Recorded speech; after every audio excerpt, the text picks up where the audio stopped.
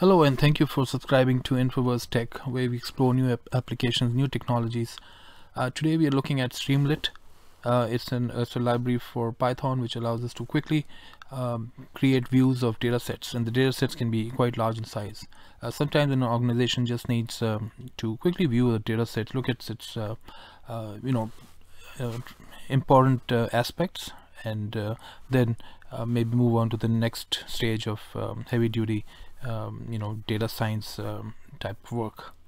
So uh, as you can see I'm using Visual Studio Code. It's uh, open source available from um, by it's been made available by Microsoft um, and it can be downloaded from uh, visualstudio.com I'll just show you the uh, the link. So uh, let me just open up a file that I've been working on.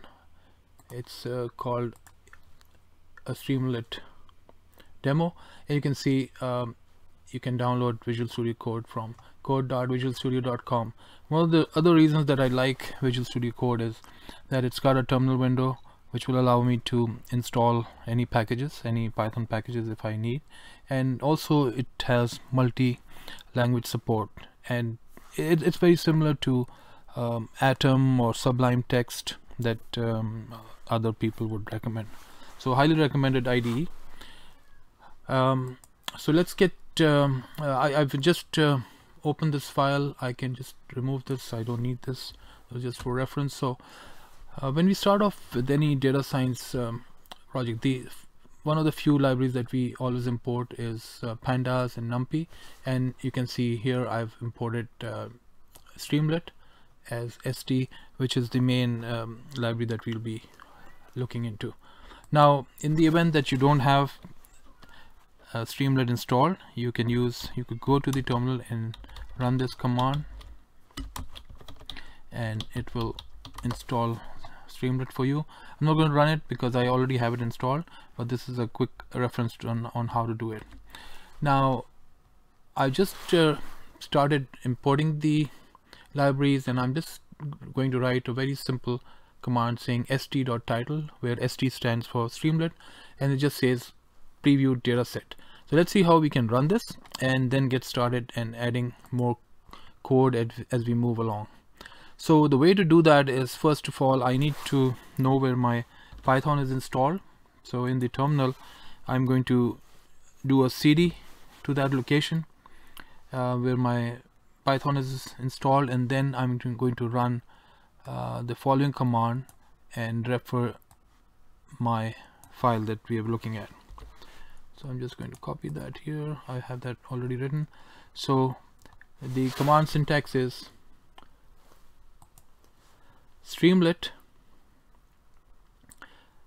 run and then the location where that file the python file is located which is a streamlit demo. When it runs the the good thing to note here is that you have a local url so everything um, all the views that you see run locally. So local URL um, is localhost on port 8501 and interestingly it also provides you a network URL so you can check maybe from your cell phone or somewhere else on the network which is provided in that uh, IP address there. And what it does automatically is that it opens up a browser for you to view that. So let's go to that browser that was autom automatically opened to support this. And let me just place it next to our Visual Studio Code here and you should be able to see any updates there. Okay so like I said um, we just started out with writing preview data set and that's what it's running right? That makes sense. Now let's go back and add some some more information so that we can make this actually useful uh, in in viewing a data set okay so I'm just going to uh, get some commands and going to explain them as we move through that code. And you, you can see uh, you, you'll be able to uh, see that it's very self-explanatory. Very easy to uh, use these uh, uh, these streamlit commands. So here what I'm doing is I'm saying okay um, I'm creating a checkbox which will say preview data set and I'm going to give it um, uh, data equals df value. We're just going to quickly point to the data set in one minute. And then you have some code which is very similar to an if then else statement. So it's saying if um, st dot button and uh, note that uh, st is the streamlit abbreviation st and then dot button or dot write those are the the further extensions that we need to know in order to uh, complete our coding so st dot button if it's head uh, then just display the data dot head which is uh, typically the five lines of that data set. Uh, else if it's um, we select tail it would be the last five lines. And if um, nothing else but then by default it displays the first two lines of that data set. And um, the checkbox will say preview data set. You can uh, either select it or you can uh, turn it off. Now let me quickly look for the data set which is the key thing here. So what we are going to do here is take a look at the electric vehicle data set. Um, in I, I, believe this is from uh, not this is from America. So this is the electrical vehicle population underscore data csv format and we're going to read that data and then uh, see how we can display it. Okay so let's get started. Give me a minute. Um, I just updated this. I need to save this file. Can do a control S and I can say always run. So it'll run and you can see that it's now updated take into account the st dot checkbox. So if I select this. Oh cool. So it's able to pick that um, data that we pointed to and you know default is just showing two rows and I can actually select tail which will give me the last five uh, rows of that data. So as you can see with just a minimum amount of um, code that I've written I'm able to display the data set I, I can at least start viewing that data uh, data set that I have. And this is an amazingly uh, powerful uh, application uh, that we are seeing in action here. Okay so uh, and you can toggle between these um, head uh, tail and you can if I um, uncheck that it's gone again. So uh, you know wonderful way to do it and it's so simple to write all this code. Now let's add some more uh, information. As an example uh, let's say we want to um, maybe show the entire data set or maybe let's say we want to just show the column name. So um, you know as a data scientist I might be interested to see what are the columns in this data set. Okay so I'm just going to uh, add that um, code here. So I'm just commenting it saying show column names saying if st.checkbox uh, if I select that and the title is show column names then st.write so write to the screen uh, df dot columns so uh, that's df is short for data frame right? Let me just uh, save this additional that I write and you can see that since I selected always run as soon as I um, save my code or there any change in the code Streamlit knows how to to rerun that and display it. So you can see now we show the column names. Let me just check that to see if it's working. And wow voila look at that. So I have um, it's, it's showing me let's see so about 14 uh, 15 columns um, and the names of those. So you know really really useful way to quickly look into uh, peer peek into your data set and uh, you know maybe find it interesting and then make some decisions around that. Okay let's go to and let's say maybe I want to know more information. Now now I'm I have my data science scientist cap on and maybe I want to look at some more uh, details around the data. So uh, one thing that we can do is uh, show the um, dimensions right? Which will include um, things like um, column rows information summary and, and, so on. So let me just um, bring that data in that I have already uh, test it so that it's easier and everyone can follow along. So here what I'm saying is show dimensions of that data. Uh, I'm just using some variable called data dim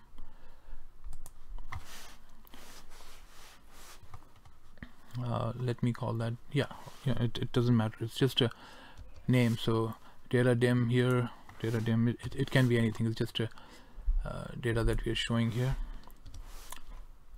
And what are we doing is that we are introducing another uh, extension called radio.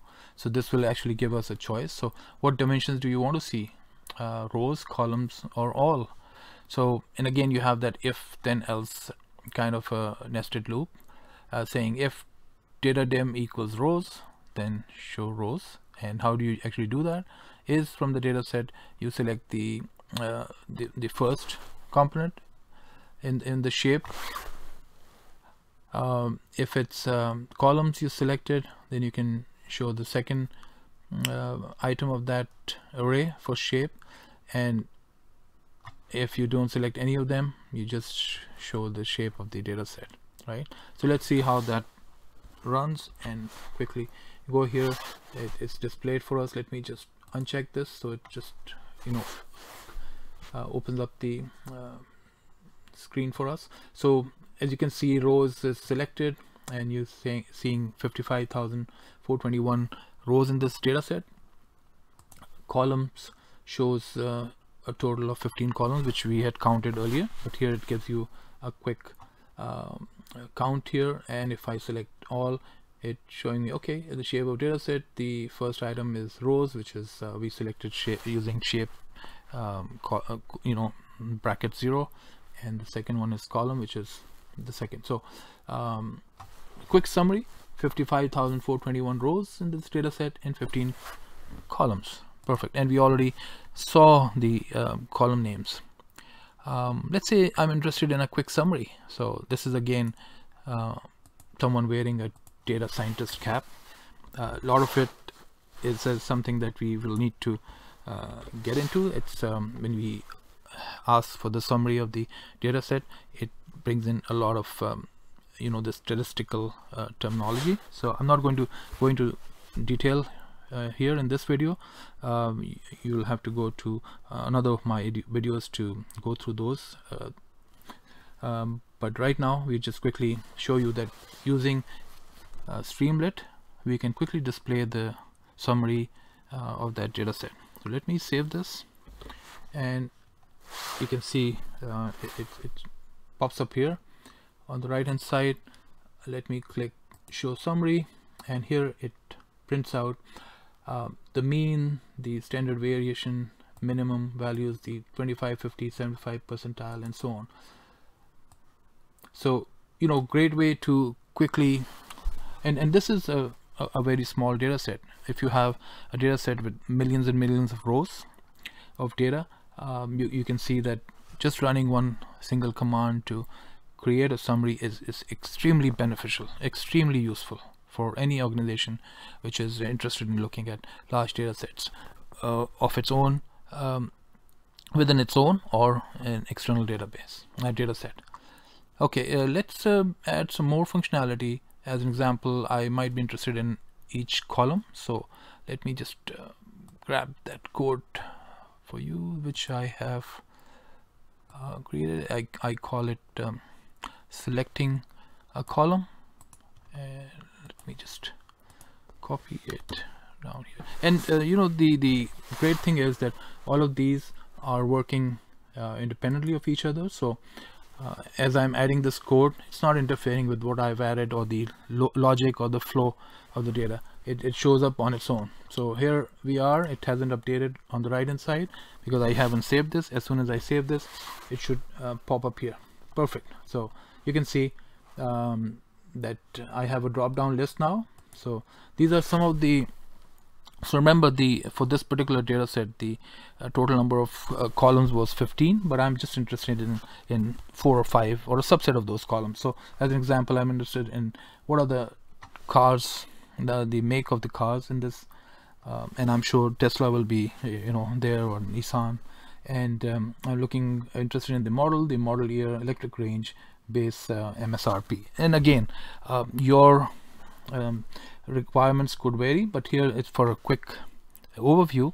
Uh, these are some of the uh, um, you know attributes of that data set that I was interested in. So let's select model and uh, let it, it just update it. So you can see you have Leaf and again this is not normalized. You might see multiple um, uh, you know mentions. So you have CMAX Energi. I think I believe it's a Mitsubishi might be wrong. You have a smart fortwo you have a Prius you have leaves you have Model S. Uh, that's Tesla. Uh, you have a Chevy Bolt as an example. Uh, let me okay model years. So you can see on the top it, it's running and it, it you know it, it picks up. So it appears to be this data might be um, from maybe 2008 to 2018 perhaps right? Again a lot of information that's coming right out, out to you with a few lines of code.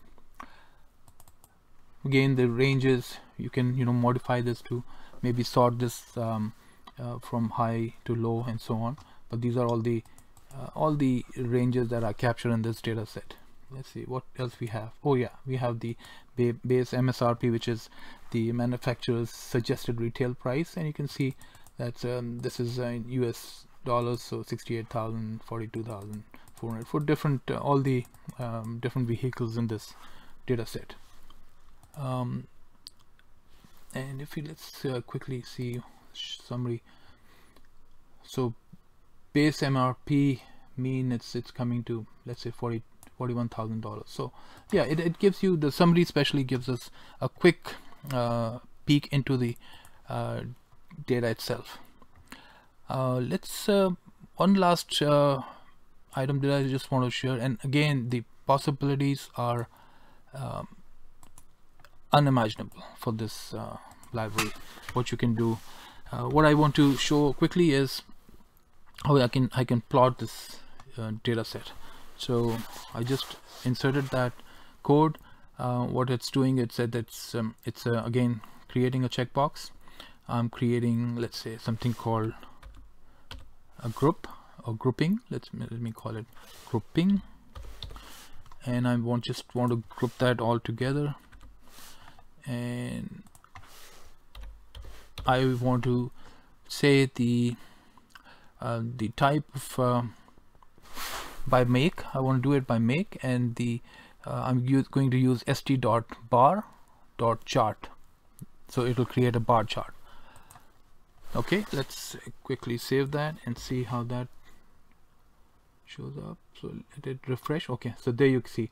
You see the show bar chart. If I select that it might take uh, again note that for larger data sets it might take a little longer but here it was able to uh, quickly pick that up. Um, let's see if we can make a quick change to let's say perhaps group it by base MSRP let's see if that works. So I save that uh, let it update.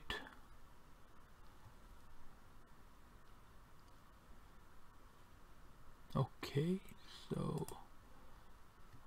let me uncheck. Let me read on that again. And uh, let's see if that change was updated. Okay it's taking a little longer. Okay